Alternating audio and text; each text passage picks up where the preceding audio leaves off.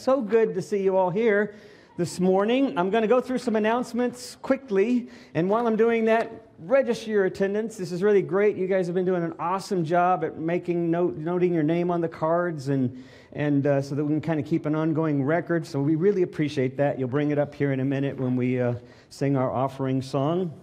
Um, so thank you for that. Uh, you can also scan, use the little, little, little code there. You can do it that way. That's kind of fun if you like playing with your phones.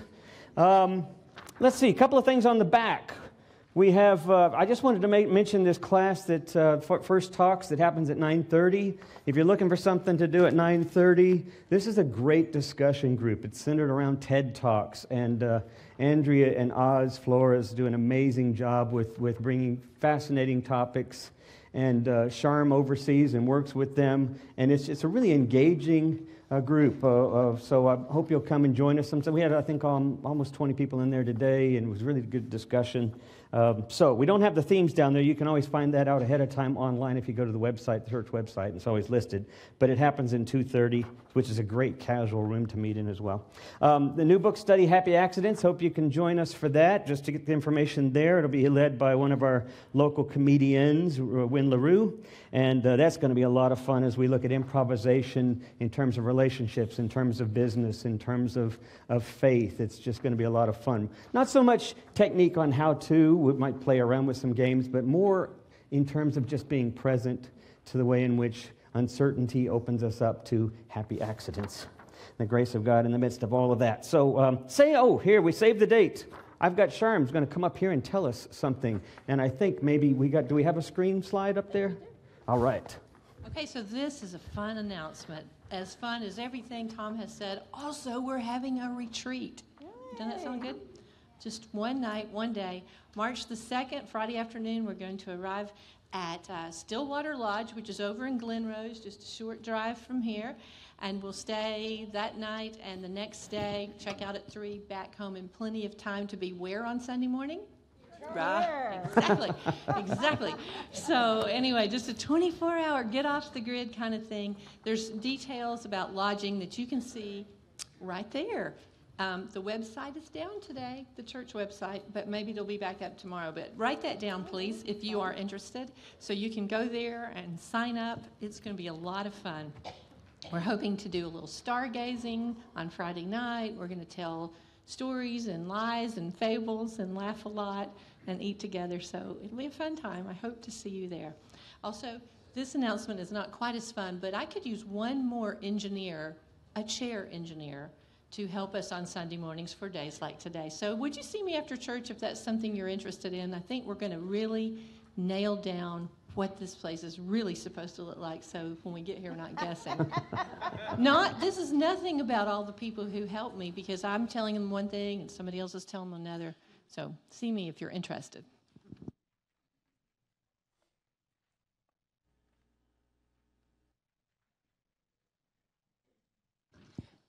Um, I'm not Brad, I'm Jana. Okay, so the welcome candle has been lit, and if you would join me in saying the welcome together. Come, come, whoever you are, wanderer, worshiper, lover of leaving, it doesn't matter. Ours is not a caravan of despair. Come, even if you have broken your vows a thousand times. Come yet again. I need a sign to let me know you're here. All of these lines are being crossed over the atmosphere. I need to know that things are gonna look good.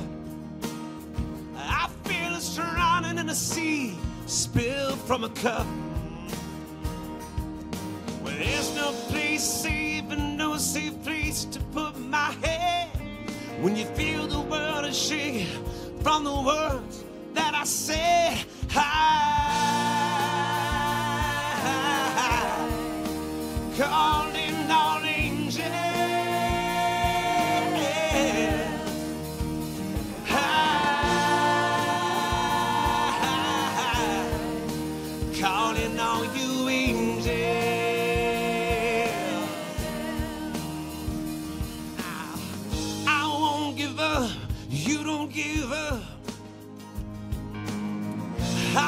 won't give up. You don't give up.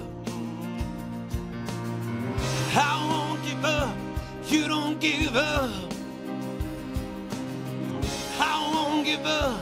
You don't give up. I need a sign to let me know you're here. Cause my TV set just keeps it all from being clear. I want a reason things have to be. I need a hand to help me build up some kind of hope inside of me. Cause I, calling all angels, and I,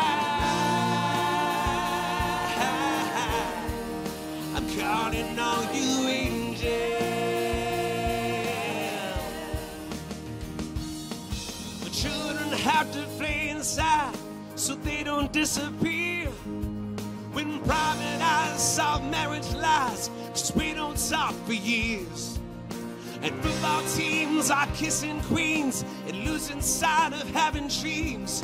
In a world of what we want, it's only what we want until it's ours.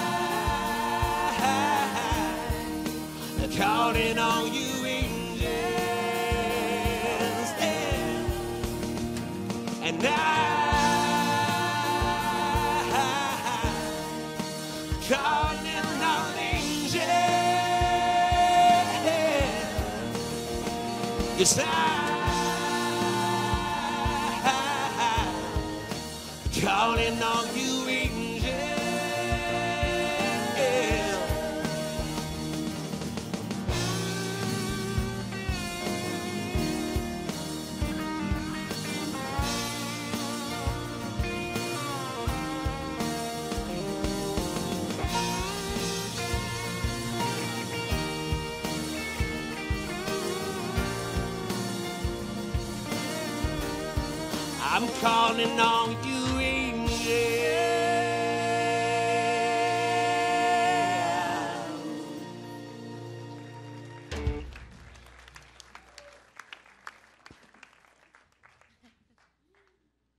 Let's pray together. Holy One, we are here calling angels. We're calling out the angels in ourselves and in each other because life is crazy and life is hard.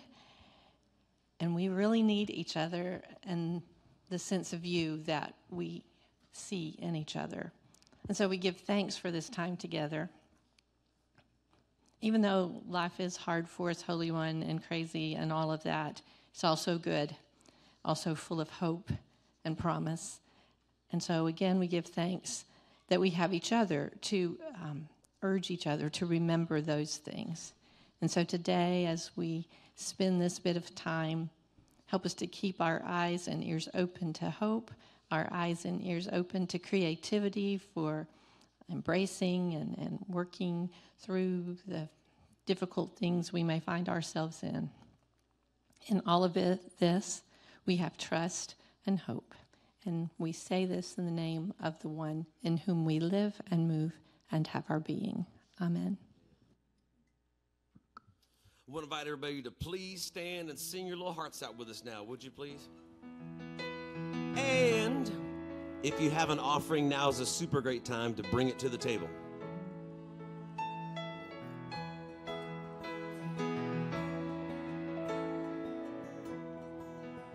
Here we go, just like this. God of movement, work inside us. Send your rain and nurture us all. Tend our roots and hearts excite us. Help us hear your ancient call. In our pain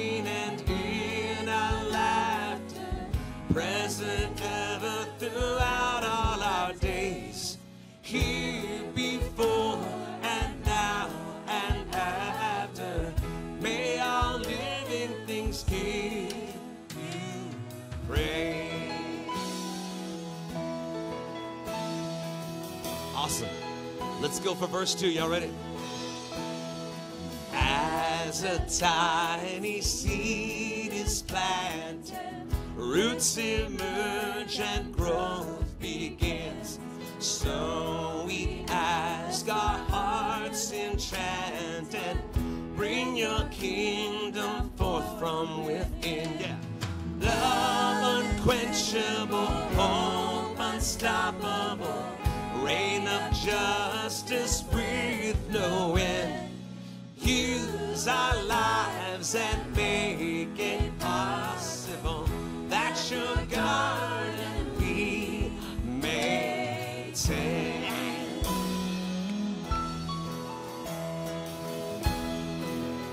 Last verse, let's make it good. Send us forth to sow and scatter seeds that grow your kingdom on earth. Make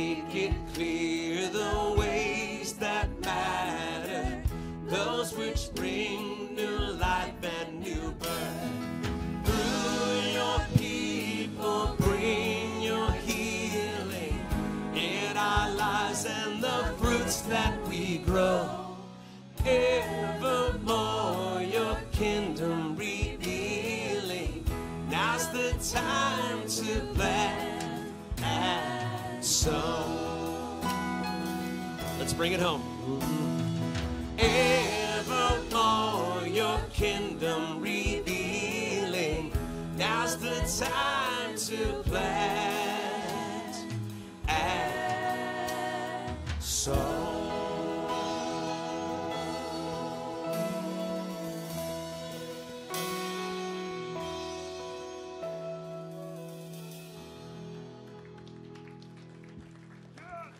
Okay, so I'm going to have a little fun real quick here with our greeting and passing of the peace. So this morning we're talking about trust as one of those intentional practices that we participate in in this idea of living on purpose. So here's what I want you to do. Some of you that read my blog already know what I'm going to ask you to do. I know you had a binky at one time, or a blankie, or a baba, or a little bit, or a whoopee, or as my granddaughter has, stain. That's one of my. He's also called Fluffy bec- or Puffy because it has a cloud stain on it, but uh, we just call it stain. Anyway, so what I want you to do is I want you to turn to somebody, and as you say hi and welcome them, I want you to say, "Mine was called." And if you can't think of it, maybe you can think of a grandchild or, an, or niece or nephew or something like that. And if you can't think of it, just say, "I've forgotten what I used to trust in, but I'm hoping to rediscover it today." Take a moment and share with one another.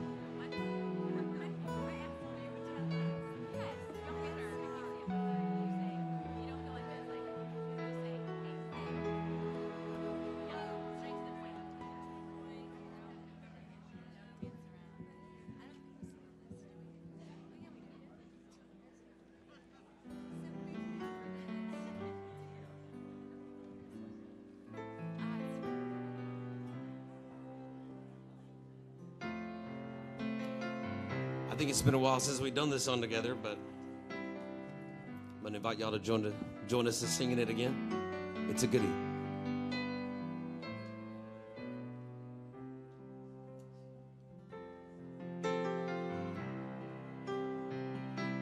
Here comes.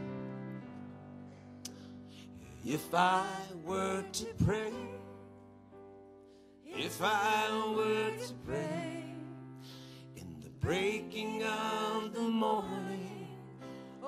dying of the day, what would I say? What would I say?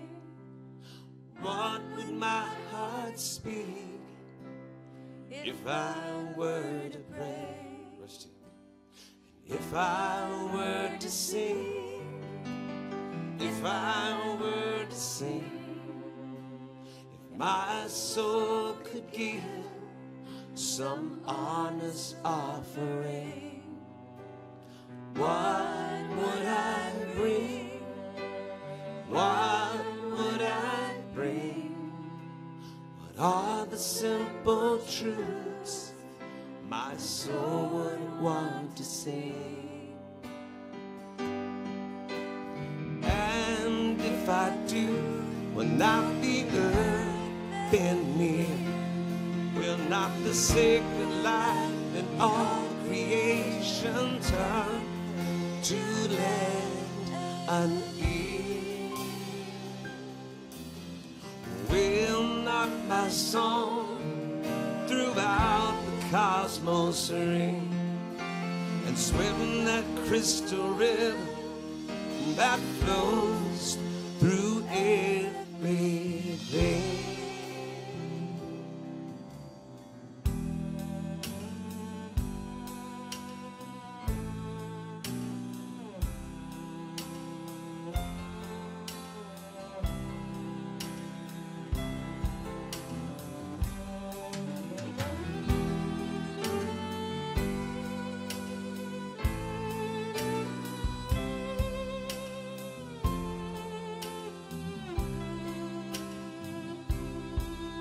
Sing some more.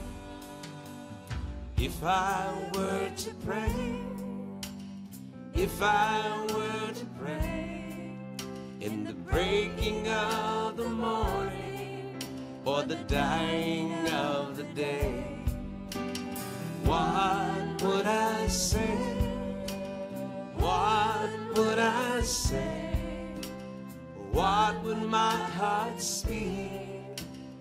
If I were to pray.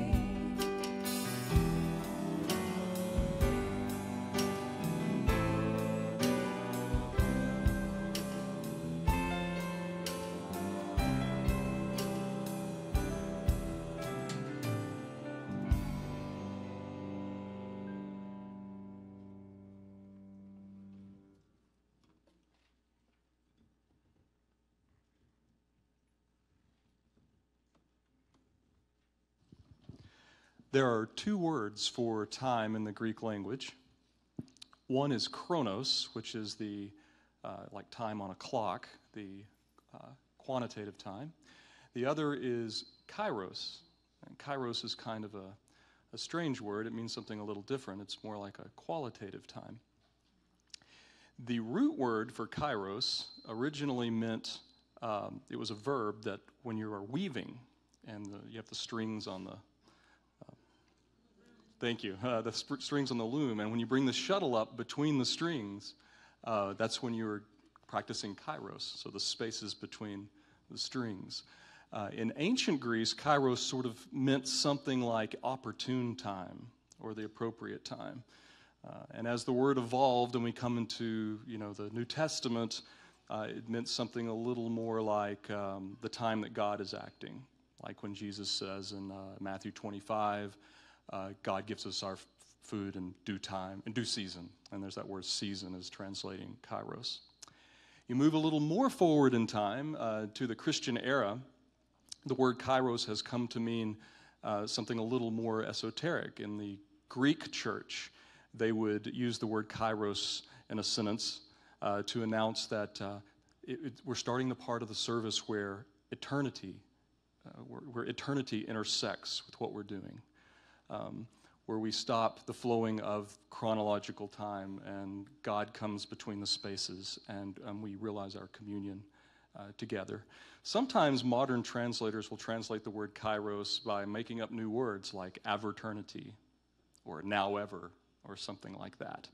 But, it, but it's a word that goes beyond just rational time. It can't be explained, but we know it is.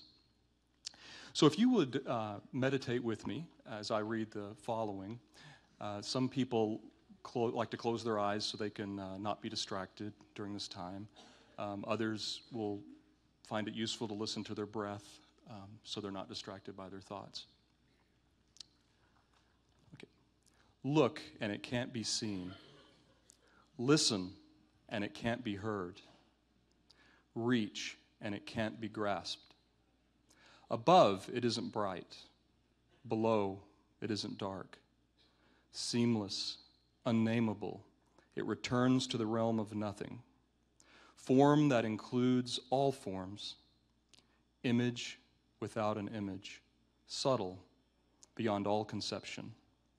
Approach it, and there is no beginning. Follow it, and there is no end.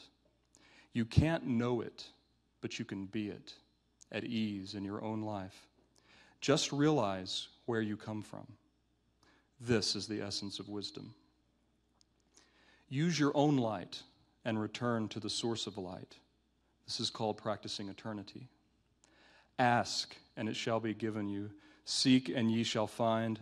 Knock, and it shall be opened unto you. Every one that asketh receiveth, he that seeketh findeth, and to him that knocketh it shall be opened. Amen.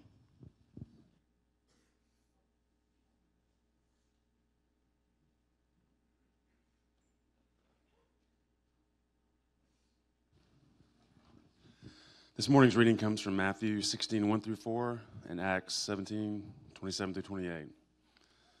The Pharisees and the Sadducees came up, and testing Jesus, they asked him to show them a sign from heaven. But he replied to them, When it is evening, you say, It will be fair weather, for the sky is red.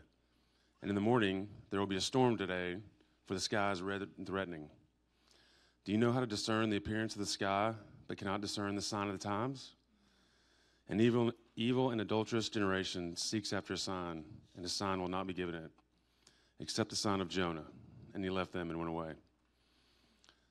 God did this so they would seek God and perhaps reach out and find God. Though God is not far away from any one of us, for in God we live and move and have our being. As some of your own poets have said, we are God's offspring.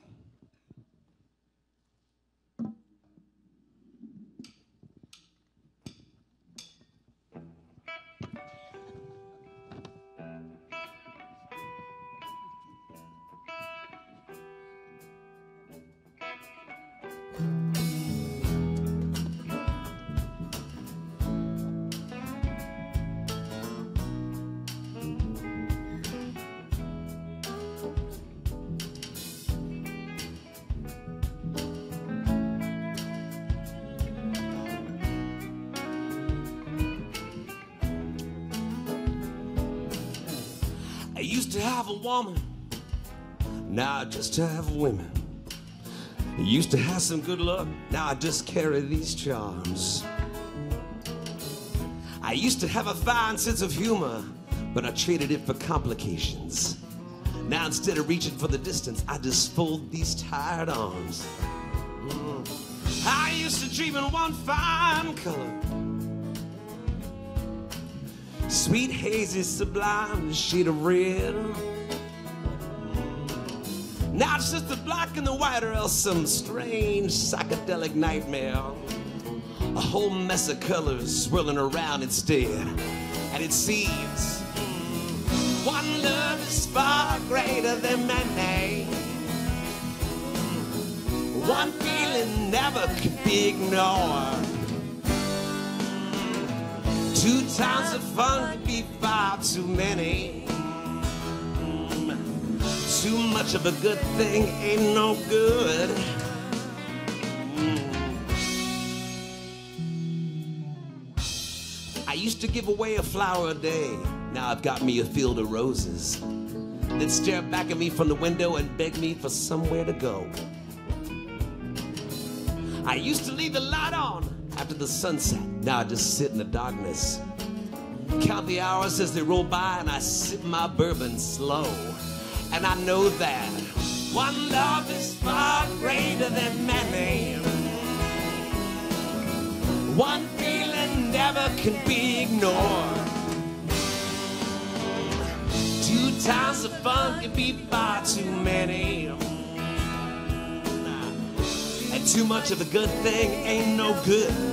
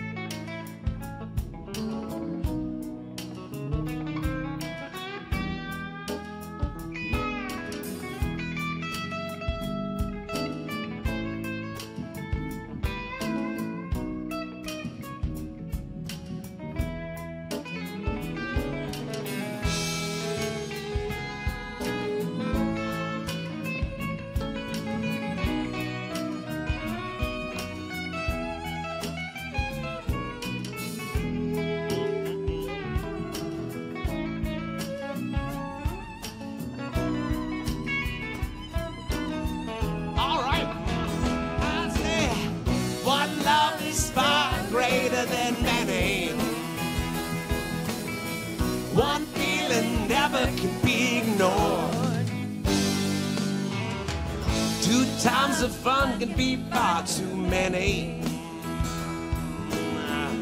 And too much of a good thing ain't no good. It ain't no good.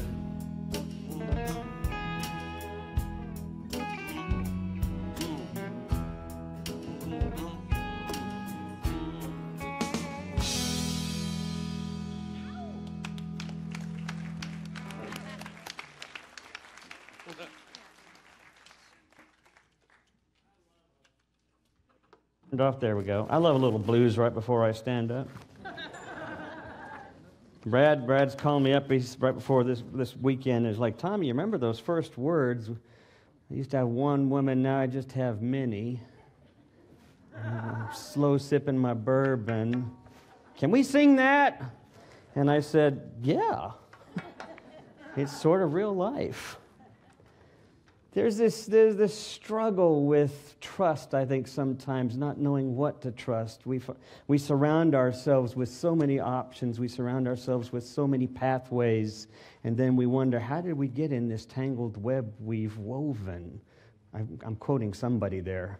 Um, but, uh, you know, and, and then we realize one good thing can really be a whole lot better than a lot. But then what is that one thing? That we need to lean in on.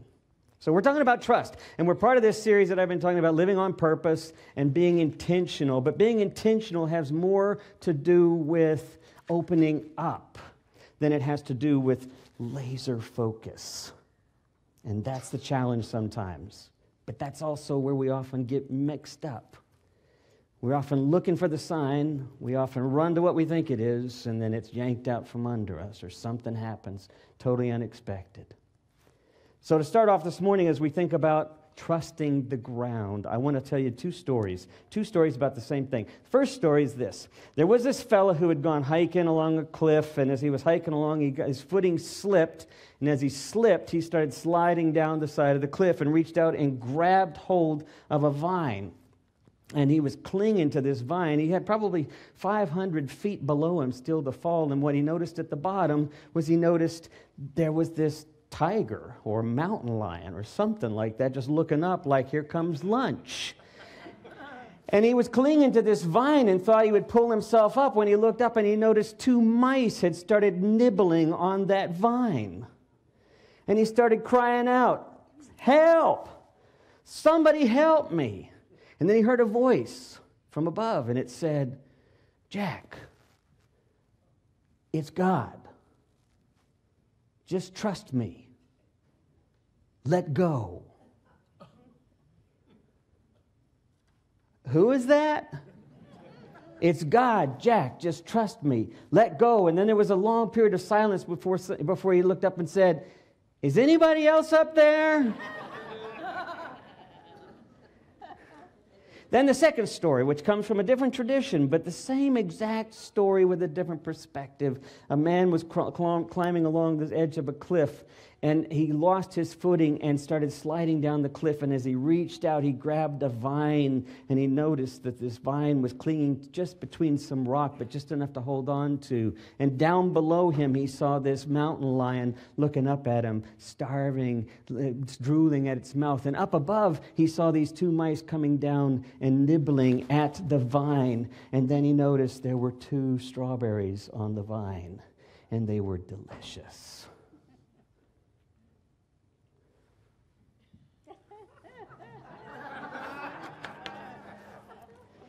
A lot of people, I think, kind of get mixed up. They get trust the wrong way, in a way that ultimately I think is less helpful for our relationships at work and with one another and for our faith. We cling to ideas or beliefs or relationships from the position of expectation. We trust, in a sense, that there's going to be something concrete that will happen, that, that, that, our belief is going to come about, that what we believe in will, in fact, take place, that the government will act the way it's supposed to act or that we want it to act, or that our pe- the people in our relationship will, do, will be the way we expect them to be, or our kids will act the way we expect them to act, or I won't make mistakes. I'll, do, I'll make the right kinds of decisions, and that life itself won't hit us upside the head, pull the carpet out from under us, or deal a tragic kind of experience with us. We tend to think of trust as this sort of blind faith that things will work out. But if we, if we unpack what we mean by things will work out, we've already got the workout planned. We've already got the whole direction set. It's one way of seeing trust that is deeply, deeply, decidedly attached to an outcome that better be or else. And if I don't get that outcome, then what happens? I stop trusting. I break off my relationship with that person, that child, that government, that car company that said it'd fix my car, the bank, or life itself. And it all starts to fall apart around us. Admittedly, this makes perfect sense, I think, because our brains are designed that way, right? Our reptilian brains, the, the basal part of our brain stem, it's designed around fight or flight, it's designed around safety. And happiness for us sometimes starts at this place where we feel like we can, we can trust the ground we stand on, right? We don't like things to happen to us that shake us up. It's not normal. We want things to stay normal for us. And then we find ourselves, when our lives get compromised, when that normalcy gets turned over on in, we find ourselves looking out and perhaps saying in our own words, Is there anybody else out there? This is something what I think the text means. When we read in the text, Jesus is talking to the Pharisees and Sadducees, as, as Brad had read this, this, this idea of you're, you, you're looking for signs, you're looking how to predict things. You know, you're trying to be astronomical and trying to figure out what, when, and what will happen, when it will happen. And he says, This generation doesn't understand it, can't even see what's going on in front of its face. He says, The only sign you'll get is the sign of Jonah. What a weird thing to say. What does that mean? Now, I'm not a biblical scholar, and I'll be the first to admit that, but I do know a little bit about, uh, about the story of Jonah. I mean, you all know the story of Jonah, the, the, the, the favored prophet of God in the 8th or ninth century. I can't remember exactly when, but he's, he's called upon by God to go and preach to the very enemy the Hebrew people hate the very nemesis of what they despise in life, the very representation of that, their own sort of shadow side, if you will. And he says, God says to, to Jonah, go and, go and preach peace and love and my forgiveness to these people, salvation, if they just simply accept it, if they turn their ways. They'll be a part of this, this community, this kingdom, this reality that you so trust in. And Jonah says, No, they won't. I'm not going over there. They're Muslim. They're gay. They're black. They're women. I'm not going to go talk to them. And what does God do? he ends up having to do that anyway. It makes no sense to Jonah. Why would I preach to the one thing I just, oh, I failed to say? They're Republicans. They're Democrats. I forgot to say that part too. God calls Jonah to do the one thing that's t- totally antithetical to him. What is the sign of Jonah? The sign of Jonah is that nothing is certain. When it comes to God, when it comes to the ground of our being, it's not necessarily the way you want it to be. The sign of Jonah is this idea of uncertainty. So I'm going to let that sink in for just a second. And I want to talk a little bit about healthy trust and mistrust because it has more often to do with what makes us uncomfortable than with what we really believe in or what we really want out of life. If we were allow, if we could allow ourselves to sort of sit with the discomfort, sit with the uncertainty, what we really want starts to surface.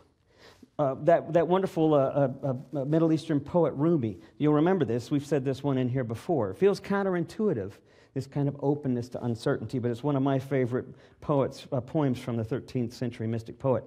This being human is a guest house. Every morning is a new arrival, a joy, a depression, a meanness. Some momentary awareness comes as an unexpected visitor. Welcome them, entertain them all. Even if they are a crowd of sorrows, who violently sweep your house empty of its furniture, still treat each guest honorably.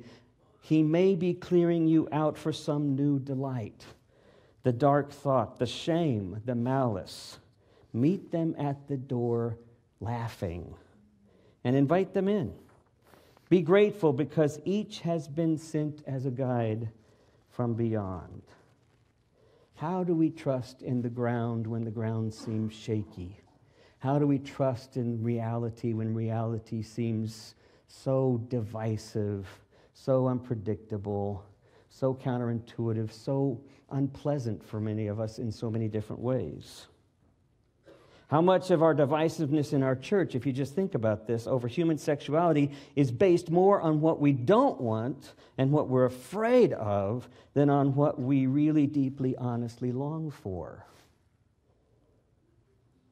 How much of the polarization that we experience in our country over politics is really based on our fear of what might happen and what we hate than what we would truly, deeply long for and truly love if we could get past that hate and fear? How much of the tensions in our relationships at home and at work are really based more on our fear of what we might lose than on our inability to recognize what we in fact have? People tend to define themselves by what they don't want to be like, by what they don't want life to be like, than by their ultimately what they do want. What they disagree with rather than what they would finally, if they could get past that, recognize they do agree with. And that's because we simply default. That's who we are. We default to wherever our neurological comfort zones are and are reinforced by the beliefs that keep those neurological things safe that keep that anxiety safe, that keep that uncertainty at bay. Science tells us our brains are just wired this way, so we're wired to resist, to fight or flight, to fear, to avoid, to mistrust. It's the way we're wired. Trusting takes a long time to establish because of that reason, and even longer to reestablish. We reorient ourselves around what we distrust, and we miss the strawberries right in front of us. So, I was visiting a growler station over in Dallas couple of weeks ago. And this guy who's the, I don't know what you call him, the growler tender, the bartender, the, the barista, I'm not sure. But, but so I've decided to do this. I've decided to sort of disempower my shyness, to sort of give it less rule over my life. Because uh, if you really know me, you know I really am an introvert. And that's, and, and so two things. First of all, I'm an introvert and I have monovision. I have, a one, I have one contact in my left eye. So I, I suffer from, from this thing that, that's called, I think, proso, prosopagnosia. Prosopagnosia? Some of you know what this is. I suffer from facial uh, inability to, to recognize faces sometimes, a little bit. I think it may be the contact. Or I think it may be the introversion. And then sometimes Linda's just sitting by me and she says, That's not who you think it is. So that happens too. And I say this only because I run into people all the time at the store or the somewhere along the line, and, and people, I'm just terrified that you think I don't like you or I'm just rude. I'd prefer that you think maybe I'm just eccentric or something like that, but that you would come up to me and say hello. And I don't know if you're a librarian from a former school I had toured and performed at, or if you're the kid's mother at that school, or if you're in fact my cousin. I, so it helps if you just kind of come up and say something. So I'm trying to break this sort of category of shyness and, and introversion, and I've decided I will engage with people clerks, cashiers, uh, baristas. I'm just going to open up and engage a little bit because that's what I believe. That's what I believe our faith and our spirituality is about is opening up, that we meet God in that place of meeting, honest, vulnerable, transparent sort of meeting, curiosity. That's where I think we find some of the richness of God's presence. And it is a little uncertainty. But anyway, I, am digressing. So I, I'm at this growler station, and I talk to this guy, and after a while, he asks me the, all, you know, the question that's going to happen, it's going to come up, right? And he asked me, he says, so, so hey, Tom, because I introduced myself, and he said, hey, Tom, uh, so, so what do you do? What's your work? And admittedly, I was going to say something obscure like, I write and speak at a Fort Worth institution for perceptively and deeply engaged thinkers, existential wanderers, and compassionate caregivers. But instead, I just threw out the obvious for public consumption and I said, I'm a pastor. And he looked at me and he said, Wow, dude, and you drink beer. then he held up my 64 ounce growler and said, A lot of beer. And I said, listen, the monks, okay, they're the ones that perfected brewery back in the 8th, 9th century, all right? And, he, and so he kind of laughed, and next thing you know, he's on this tirade this sort of confessional tirade. You know, I don't believe in God. And, and he starts to dismiss the church for all of its obsoleteness or all of its inconsistencies and all of its irrelevancies, and that God can't possibly be this super being. Science has told us we're so far beyond that kind of mythology. And he starts to just go from one thing to the next until he finally says, Listen, I mean, who's to say that I'm not right with the world and all the universe if I'm not doing my thing and also working to better the world and helping people who are hurting when I see them and hanging out with Muslims and gay people and working with Habitat for Humanity and spending some time fishing on Sunday? Oh, and if I contribute to public radio. Who's to say I'm not doing the right thing? And I looked at him and I laughed and I said, Well, not me. Sounds like you're a real Christian. And then he looked at me and said, I am not a Christian. And I said, Well, you better stop acting like Jesus. and the funniest thing happened. He looked at me and he kind of smiled because a light had gone on in his head. He had approached everything from what he didn't agree with, that there wasn't room for him to suddenly discover what he might agree with, and that he might be surprised. So, how much of our trust or our mistrust is really based on what we don't want to see or don't believe in or disagree with or afraid of happening instead of what we really long to do? And so, here's my point trust has less to do with certainty than being fully committed, it has more to do with being fully committed to the mystery and curiosity of what is sacred in our lives, where God is the very ground of our being.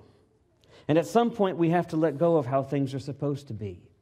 At some point, we have to open up to the possibility that this mystery we live in that we call God, which is really God beyond God for us, because even then we run the risk of nailing it down exactly who and what God is. And before you know it, we've nailed it down so much that once again we're back to that place that our reptile brain wants to go when it says, This is what I believe. Now, what do you believe? It's so easy to fall back there. We have to live with this sort of gospel of doubt that opens us up to trust the uncertainty. And the way we get there, I think, is we invest. We stop looking for trust. We stop waiting for trust to happen. When things shake us up, we look for where we can invest trust. When things don't go the way we expect them to go, and sometimes they can be overwhelming things, sometimes we have to simply sit with it a while Sometimes we have to look out at the roses like the song was singing. It's calling us, but we just need to sit a while. But sometimes sitting begins to open up what is, in fact, at the, at the ground of our being. We have to invest, we have to be willing to take those risks. The other day I was watching, I was at Starbucks and I was looking out the window and I saw a flock of starlings. I guess they were starlings. They, there were those massive amounts of birds, thousands of them that they fly around and they create these amazing shapes as they're flying. And I was just watching them as they moved this way and they'd move that way. And I remember hearing online uh, the, on, an On Being an interview with the guy who was the founder of Wired magazine and he was talking about the net, the, inter, the, the social network, and how it's a being all in itself. We think of it as technology, but in reality, we are part of that technology and it is part of us. And he says we're kind of like starlings. It kind of moves this direction and that direction. And sometimes it can be overwhelming. And that's when perhaps we need to make a more personal investment in seeing what change we can be about, what we can bring about. There's this idea that perhaps what we need to do is to invest in creating trust. So I, close with this, with, this, with this idea. I have two neighbors, and, and these neighbors, one lives a couple of blocks down and one lives on my block. In fact, it's my, well, I won't go any further than that. I don't want to be too specific. But I have these two neighbors, and they both decided to plant trees in their yard these, these uh, fruit trees. One is a, is, a, uh, is a pear tree, and the other one is a persimmon kind of tree. I'm not sure exactly. It's a different kind of fruit I don't recognize, but it's in the backyard, and it has these beautiful leaves during the fall. When they, when they start to shed the leaves, they turn sort of a deep, deep red, and it's very pretty. And then, of course, the pear tree turns this orange and yellow, which is really beautiful. But now, this one neighbor, she planted the tree in her backyard, and it's planted just inside the fence line, far enough away from the fence that all of the fruit is right there hanging in the backyard. And, she, and she's got so excited about when she could finally you know, you know, get that fruit from the tree. The other neighbor lives down the street. He's got two pear trees planted in the front yard, and they're on the sidewalk. And I asked him why he did that. And he said, because it gives him great joy to see people walk by and look at the fruit. And if he's there and they don't do it on their own, he simply steps out and says, Take one.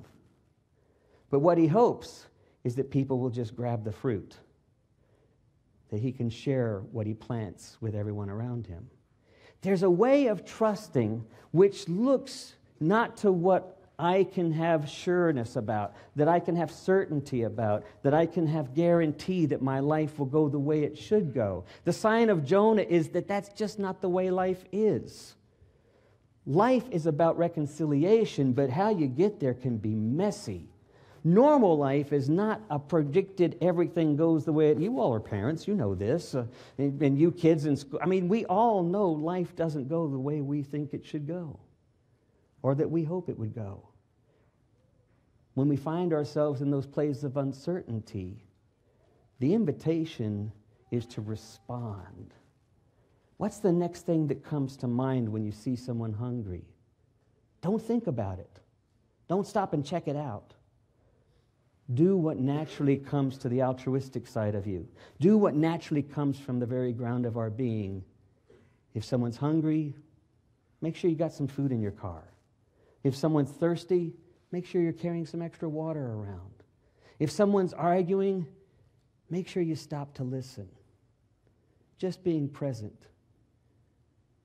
Deep down, the ground of our being knows what it means to connect with the greater ground of our being, with God. Amen.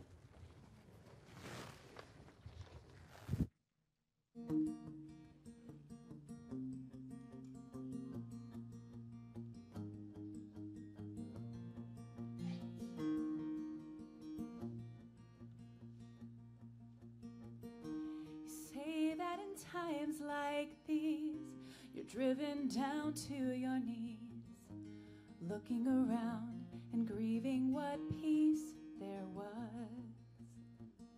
You promised yourself you would work for a world of good, but look at you now, wondering what good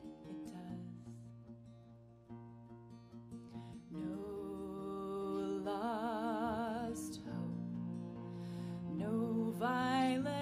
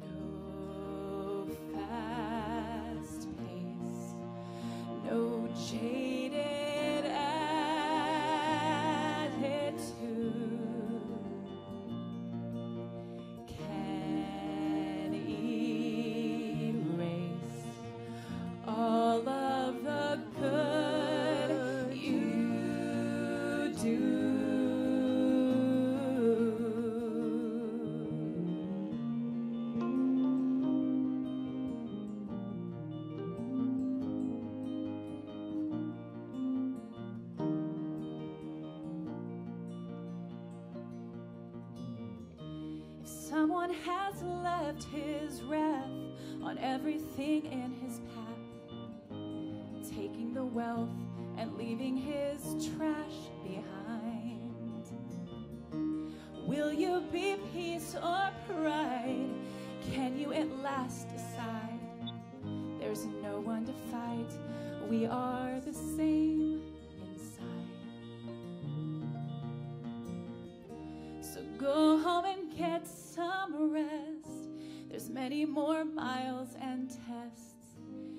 all about love.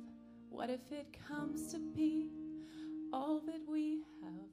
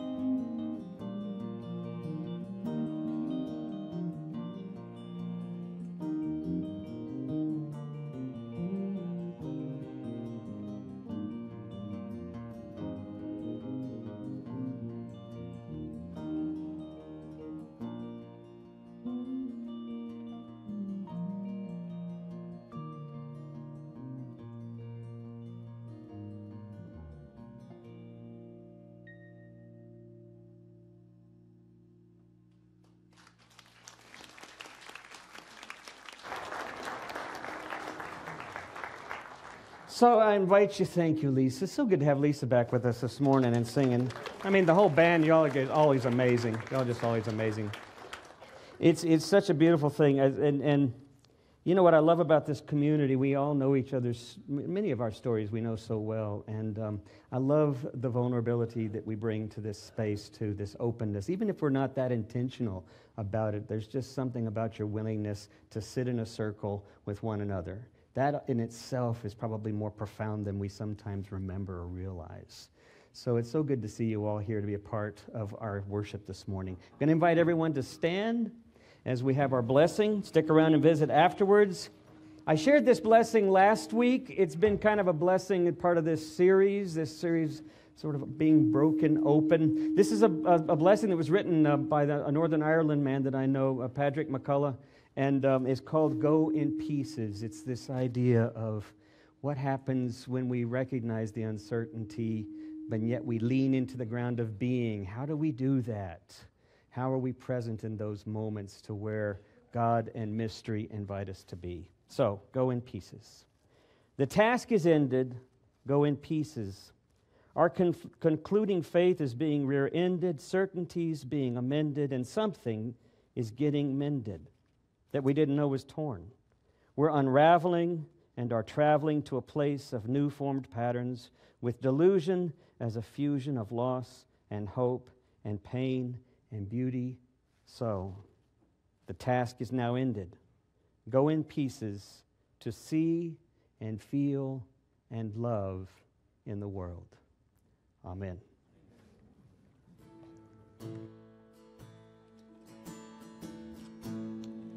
Happy birthday to Lisa and Claire. Happy birthday to both Lisa and Claire. Happy birthday, we see you standing there. Happy birthday to y'all.